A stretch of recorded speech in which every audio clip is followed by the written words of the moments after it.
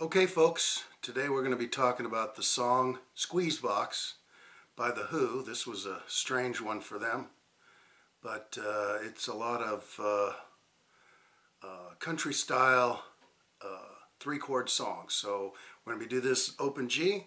Like before, I'm going to play a little bit of the song and then I'll get into the explanation of how to play this great song.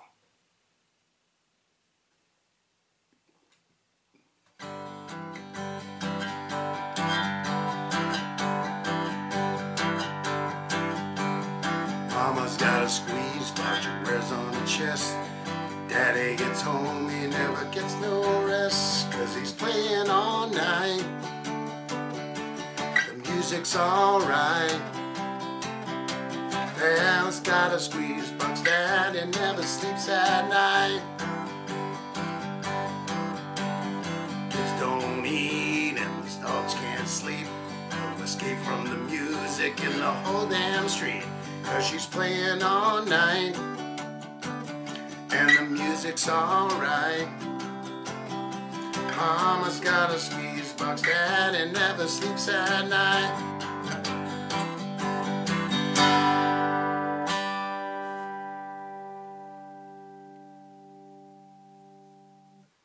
Okay, let's go ahead and talk about how to play this great tune. As I stated before, this is an open G tuning. Basically, it's the song is in G, and it starts out with just an open G sound. You're going to just be playing the first five strings. And then you're going to go to a chord called a C with a G bass.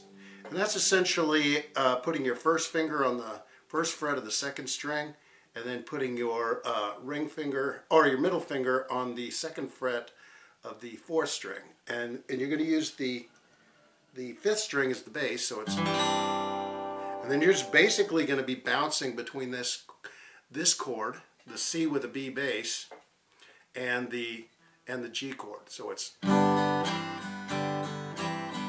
just got to get that rhythm, the rockabilly rhythm. And you're just pounding. That's the beautiful thing about open G tuning. You can go to this suspended. This is essentially a G suspended fourth.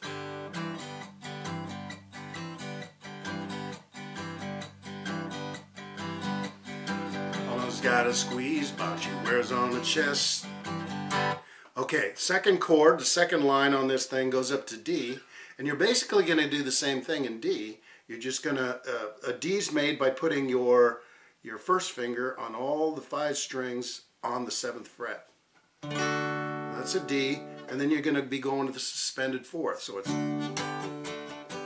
same little pattern. A suspended fourth is made by putting your middle finger on the eighth fret of the second string and your ring finger on the uh, ninth fret of the uh, fourth string. So it's and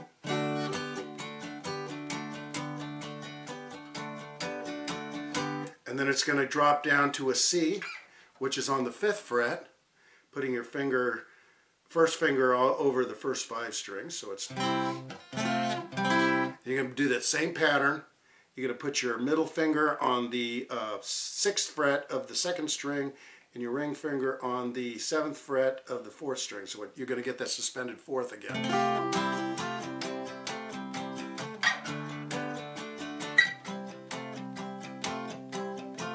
Okay, so the um, the verse goes like this. Uh, let me just go ahead and play that and is playing all night.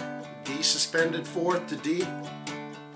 Then you go into C to C suspended fourth, and then back to D, D, and then D suspended fourth, back, and then G.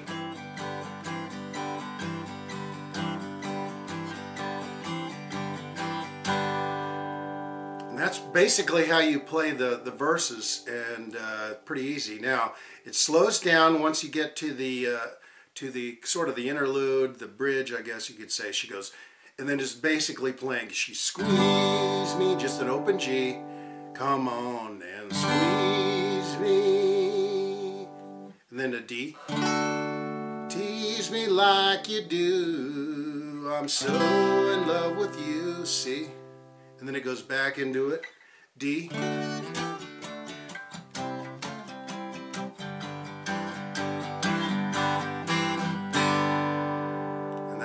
that's really the whole song. You can jazz it up however you want, but uh, this is a fun song in 4-4 timing, and it is just, it's made for open G tuning, so. And I think that's how they played it.